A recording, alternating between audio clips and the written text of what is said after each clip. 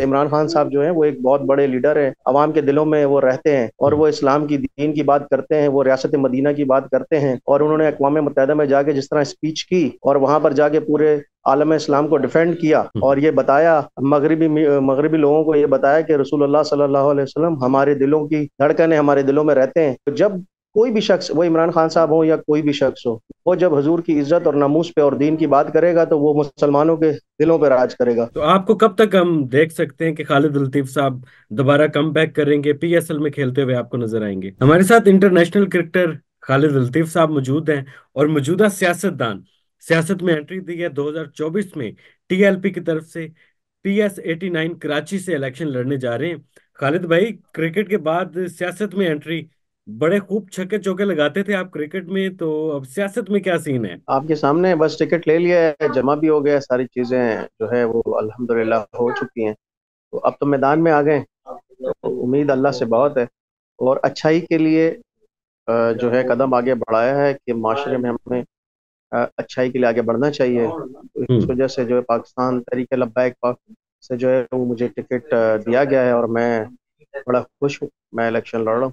कितनी उम्मीद है जीतने की सियासत का मैदान हो या क्रिकेट का मैदान हो जब आप मैदान में उतरते हैं हार जीत का नहीं पता होता डिपेंड हम्म। करता है कि आपकी मेहनत कितनी है और सियासत का मैदान तो वही आवाम का फैसला होता है कि आवाम अगर चेंज चाहती है तो चेंज लाने हम्म। के लिए उसको वोट की पावर से ऐसे लोगों को लाना होता है कि जो माशरे को अच्छा बना सके और पाकिस्तान तरीके लब्बैक जो है वो इसी वजह से जो है उन्होंने कदम आगे बढ़ाया है कि नामूस रिसालत के ऊपर पहरा देना है। हम्म। और हजूर की इज़्ज़त और नामूस के ऊपर अगर कोई भी शख्स कोई भी बंदा या कोई भी इंसान अगर उस पर उंगली उठाए या गलत काम करने की कोशिश किया तो उसको रोका जाए। अच्छा खालिद भाई सियासत में कदम रख दिया। क्रिकेट में तो मैच के बाद पता चलता है कि किसकी हार हुई किसकी जीत हुई। सियासत में थोड़ा पहले ही पता चल जाता है कि क्या आवाम चाहती है? आवाम आपके साथ खड़ी है तो जब आप कंपेन चला रहे थे तो क्या रिस्पॉन्स था आवाम का? असल में मैंने अभी सिर्फ़ एक रैली जो है वो अपने इलाके में रैली के साथ गया था और अभी कंपेन जो है वो प्रॉपर स्टार्ट जो है वो आ, ए, कल से जो है स्टार्ट हो जाएगी और हमारी साइड मीटिंग्स है डोर टू डोर हमारे जो है विजिट्स हैं और कुछ जलसे हैं तो वो सारा एक प्लान किया हुआ है। तो कल से प्रॉपरली स्टार्ट किया जाएगा इसको। अभी आपने क्रिकेट से रिटायरमेंट नहीं ली लेकिन आपने सियासत में एंट्री दे दी है। सियासत में आने का जो प्लान था वो आपका अपना था या आपको किसी ने कन्विंस किया इस पर? मुझे कन्विंस किया है। मेरा अपना तो कोई प्लान नहीं था। मुझे कन्विंस किया है किसने कन्विंस किया? पाकिस्तान तरीके लब्बैक। के जो अमीर हैं अल्लामा एजाज रजा उन्होंने और उनकी पूरी टीम ने और साद हुसैन रिजवी साहब ने जो है वो मेरे लिए टिकट भेजा और एनए का भी टिकट भेजा और पीएस का भी भेजा कि ऑप्शन ले लें जो आपको बेहतर लगता है उससे लड़ें। उन्होंने मुझे कन्विंस किया तो मैं कन्विंस हो गया। ठीक है अच्छाई के लिए आगे बढ़ना चाहिए। एनए से इलेक्शन नहीं लड़ रहे आप? मैंने असल में उनके पास जो कराची की क्यादत है हम्म। उनसे कहा कि आप जो बेहतर समझे आप मुझे वो टिकट दे दें। और हम्म। उन्होंने मुझे पीएस का दिया। लालच कोई नहीं है कि मुझे अन्य दे दें या कुछ दे दें। बात है कि हमने कदम बढ़ाया है खिदमत के लिए तो एम पी ए हो या एम एन ए हो इन्होंने तो आवाम की खिदमत करनी है। कोई शौक नहीं है कि कोई बड़ी सीट छोटी सीट होती है जिस नंबर जहाँ पर भी हो आप अपने से अच्छा काम करते रहे। अच्छा खालिद भाई टीएलबी भी इस्लाम का नारा लगाती है और पीछे हमने देखा कि इमरान खान साहब और उनकी पीटीआई ने भी इस्लाम पर बात की और इमरान खान साहब ने अकवाम मुतहदा में भी खड़े होकर बात की थी हजूर के नाम उस पर। तो टीएलपी के लोग कहते हैं कि उनका जो नज़रिया वो फेक है और हमारा नज़रिया जो है वो ठीक है। इस पर क्या कहेंगे आप? देखिए मेरी इस पे जो है अमीर कराची से और उनके मैंने उनसे बात की थी कि ऐसी चीज़ें हैं इसमें तो कि उनका भी एक मौकफ है बड़ा हम्म। सीधा और स्ट्रेट मौकफ है कि रियासत मदीना बनानी है। जब पाकिस्तान का बंदा वज़ीर आज़म बनता है तो उसके बहुत सारे मुशीर होते हैं। हम्म। इंसान से गलती भी होती है और कोई जानबूझ के ऐसी बात नहीं करता। और मैं नहीं समझूँगा कि इमरान खान साहब जो है वो एक बहुत बड़े लीडर हैं। आवाम के दिलों में वो रहते हैं। और वो इस्लाम की दीन की बात करते हैं वो रियासत मदीना की बात करते हैं और उन्होंने अकवा मुतहदा में जाके जिस तरह स्पीच की और वहाँ पर जाके पूरे आलम इस्लाम को डिफेंड किया हम्म। और ये बताया मगरबी मगरबी लोगों को ये बताया कि रसूलुल्लाह सल्लल्लाहु अलैहि वसल्लम हमारे दिलों की धड़कने हमारे दिलों में रहते हैं। तो जब कोई भी शख्स वो इमरान खान साहब हो या कोई भी शख्स हो वो जब हजूर की इज़्ज़त और नमूस पे और दीन की बात करेगा तो वो मुसलमानों के दिलों पर राज करेगा। और हम्म। इमरान खान साहब जो है उनका जहाँ तक बात है कि जी ये कहा जाता है टीएलपी के ऐसे लोग कहते हैं तो उसमें ये चीज़ें थी कि वो बात इस्लाम की उन्होंने की और आसिया मलूना के ऊपर बात होती है कि जी वो गुस्ताख रसूल थी पाकिस्तान की अदालतों ने चार दफ़ा उसको सजाए मौत दी और वो पाकिस्तान से चली गई हुकूमत इमरान खान साहब की तो वो ये इनकी चीज़ है जिसके ऊपर वो आ, बात करते हैं जो उलमा दीन है जो अल्लामा है हम्म। वो ये बात करते हैं। और इसको बात को वो करते हैं लेकिन वो ये बात भी करते हैं कि एक इंसान है उससे गलती हो जाती है या करवा दी जाती है तो वो अल्लाह से माफ़ी मांग के आगे चले।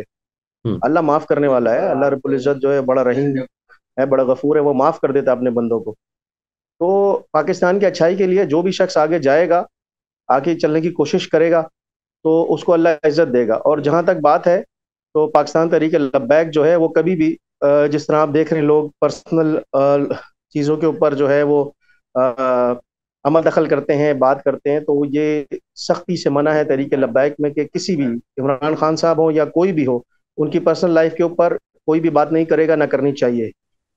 आजकल हम देखते हैं कि पीटीआई पर थोड़ा सा मुश्किल दौर है मुश्किल वक्त उन पर चल रहा है उनकी सारी क्यादत इस वक्त जेल में है। तो आप पीटीआई के साथ हाथ मिलाकर इलेक्शन लड़ सकते हैं या कोई उनके साथ नहीं होगा आपका? देखें ये मेरा फैसला नहीं है। ये अमीर जो है हाफिज साद हुसैन रिजवी साहब है इसका जवाब वो सही दे सकते हैं आपको हम्म। कि क्या होगा क्या नहीं होगा। क्यों? क्योंकि मैंने अभी तरीके लब्बैक को ज्वाइन किया है। मैं सियासतदान नहीं हूँ। हम्म। मैं खिदमत के लिए आगे आया हूँ और मैं इसलिए आगे आया हूँ कि आवाम को ज़रूरत है और ये बात आप उनसे करेंगे तो वो बेहतरीन आपको जवाब भी देंगे।